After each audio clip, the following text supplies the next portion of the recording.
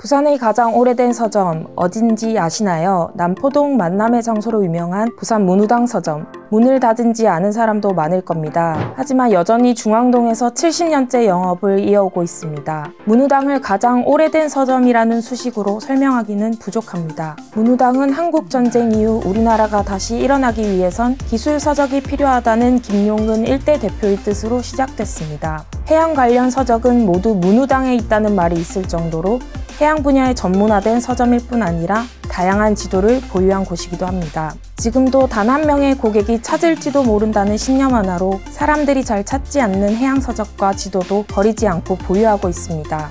한 차례 폐업 위기 이후 서점 직원이 이를 이어받아 다시 일으켰습니다. 부산의 재밌는 이야기를 모으는 부산 피디아 오늘의 주인공은 부산 문화의 자부심 70년을 바라보는 문우당 서점입니다.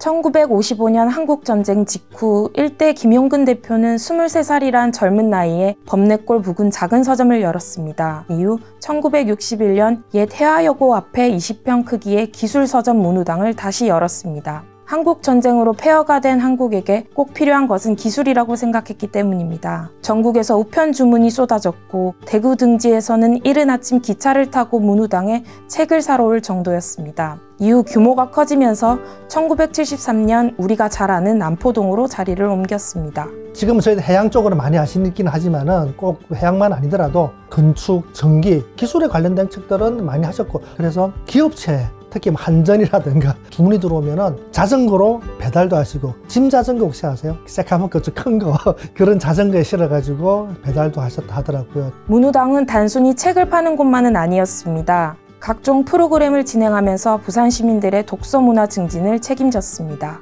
예전에는 그런 것도 좀 많았어요. 독서 노트라든가 팜플렛 같은 거 얇은 책자를 만들어 가지고 손님들한테 시민들한테 무료로 배부하는 그런 것들을 만들어 하셨고요. 지금은 없어졌는데 지하철 문과라고 해가지고요. 시민들이 자연스럽게 책 보고 놔둘 수 있게 저희들이 그걸 1년에 한 2천 권씩 대표님 생각은 어차피 내가 서점을 통해서 돈을 벌었으니까 시민들한테 뭔가 봉사할 수 있는 그런 부분이 있었으면 좋겠다 해서 아마 그렇게 많이 하신 것 같아요. 당신은 오프라인 서점의 전성기였습니다.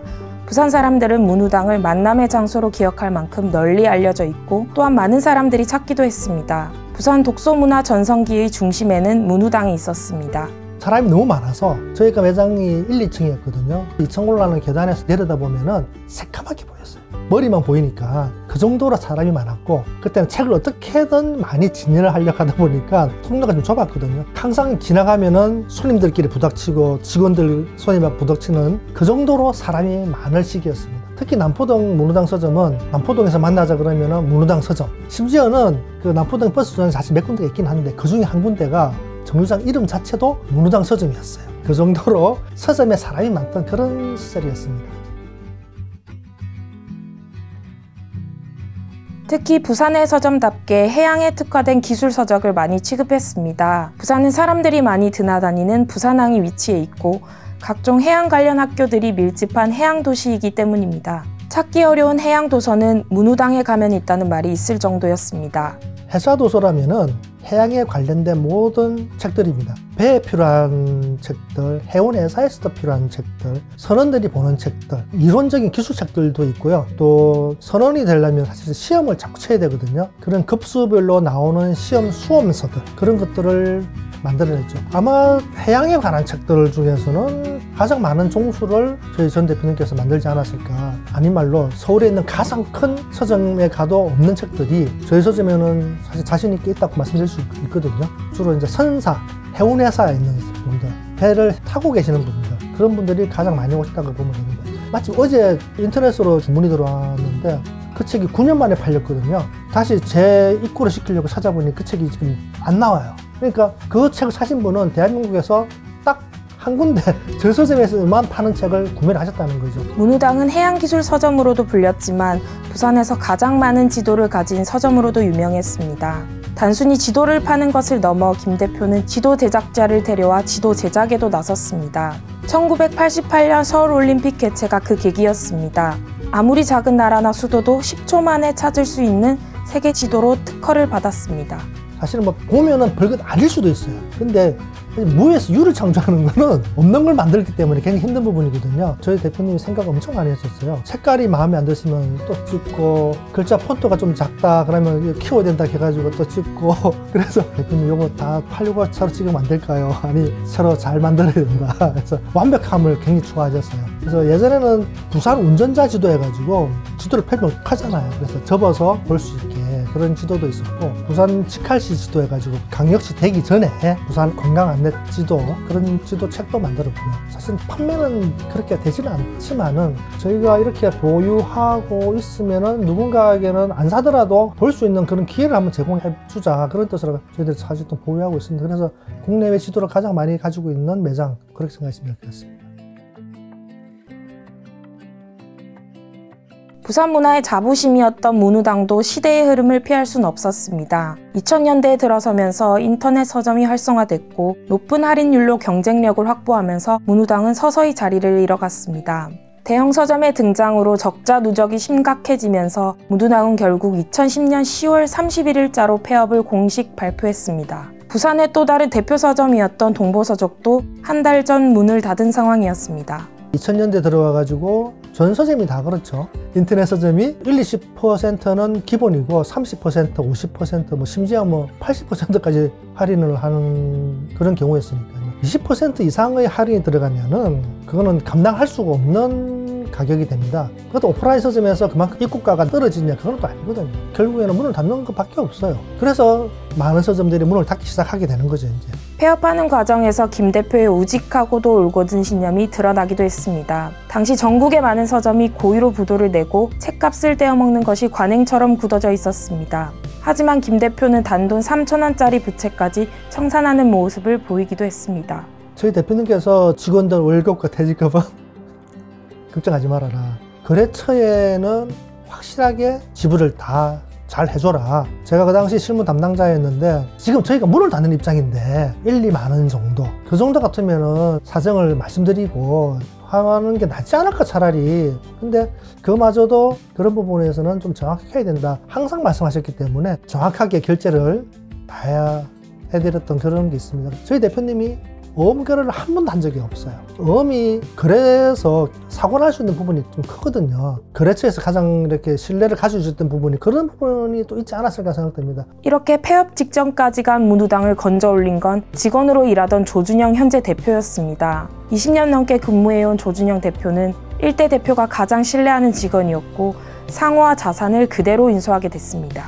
이걸 좀 어떻게 좀 잘 해볼 방법이 없을까? 이걸 어떻게 살릴 수 있는 방법이 없을까? 대표님한테 한번 말씀을 드려봤죠. 그랬더니만 어, 자네 같으면은 잘할 수 있을 것 같아. 한번 잘해봐라. 흔쾌히 허락을 해주셔가지고 지금까지 잘 유지해온 것 같습니다 문우당은 폐업을 공식한 이후에도 지하 1층에서 5층 규모의 서점 중 1층만 문을 열어두고 영업을 이어왔습니다. 사람들이 아는 것과 달리 단 하루도 문을 닫은 날이 없습니다. 문우당 영구 폐점에 대한 오해는 문재인 전 대통령의 발언으로 퍼지기도 했습니다.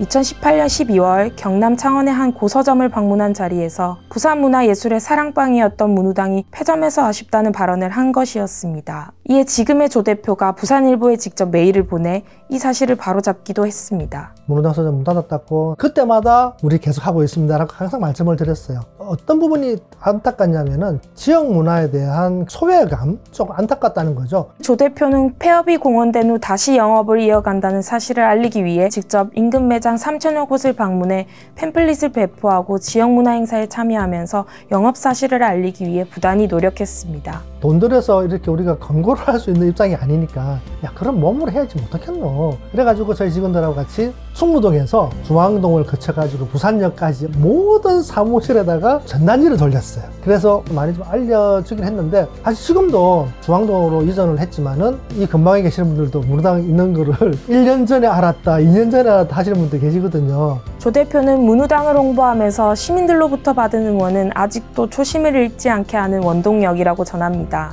제가 전단지도 드리고 그러니까 어, 문화당 서점 지도 팔잖아요 내 지금 살게요 하더라고요 3천 군데 중에서 아무도 안 샀는데 그분이 사주신 거예요 필요해서 살 수도 있겠지만은 저한테는 또 다른 의미가 있는 거죠 그래서 제가 한 번씩 이렇게 울컥하면 기분이 안 좋으면 한 번씩 열어봐요. 제가 그 돈을 보관하고 있거든요. 옛날 생각도 하고 또 다시 또 잘해봐야지 그런 생각하고 있습니다. 조 대표는 1988년부터 시작해 이곳에서 20년 넘게 근무를 해온 직원이었습니다. 평생을 서점과 함께 했고 서점에서 일하던 직원과 결혼을 하기도 했습니다. 책을 좋아하는 한 청년이었죠. 기회가 된다면 서점 근무도 괜찮겠다 생각했는데 저도 이렇게 오래 근무할 줄은 몰랐죠. 하다 보니까 이제 사내 결혼을 하게 됐어요. 감사한 일이죠. 뭐 저, 저는 그분한테 항상 감사하게 생각하고 있습니다. 이제 조 대표의 문우당은 중앙동에 터를 잡았습니다. 남포동 하면 문우당, 문우당 하면 남포동이었던 터라 조 대표는 중앙동으로 서점을 옮긴 것이 묻내 시민들에게 미안하다고 전합니다. 남포동에서 4년 정도 있었거든요. 지금도 전화가 와서 어디냐고 물어보시는 분들이 많이 계시단 말이에요. 그래서 매장 옮길 때 사실은 굉장히 많은 고민이 있었습니다. 사실 여건이 그렇게 되지 않았고 그나마 가장 가까운 곳이 중앙동이라서 여기까지 오게 됐습니다. 이제 제2의 문우당 시대가 조 대표를 통해 열리게 됐습니다. 2011년 해양도서 전문 해광 출판사를 만들어 책을 냈고 2018년 문학 전문 출판사 스토리팜을 만들기도 했습니다. 그 외에도 경제, 법률 등 한 분야에 특화된 출판사를 만들거나 만들 계획을 가지고 있습니다. 경제에 관련된 책은 콤비비오라는 출판사 이름으로 내고 지금 독립출판을 많이 하고 있거든요. 그래서 독립출판을 지원하기 위해서 출판사 이름도 아예 뭐 독립출판이라고 하고 법률 전문 출판사를 저희가 지금 기획하고 있거든요. 그래서 한국 데이터 시스템이라고 해서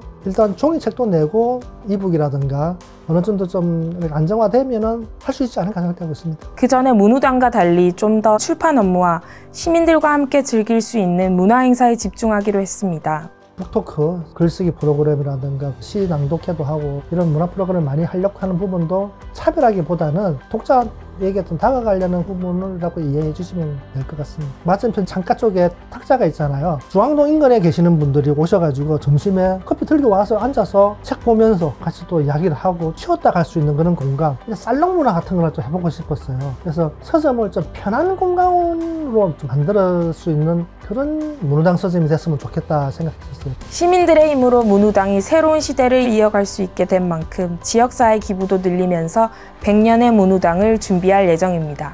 저희 사장님이 아동시설에 기부를 하고 있었는데 마지막 1년 정도에는 이제 중단했었어요. 그때 사실 굉장히 마음이 아팠어요. 제가 대표가 되고 나서 다음 달에 바로 물론 큰 돈은 아니에요.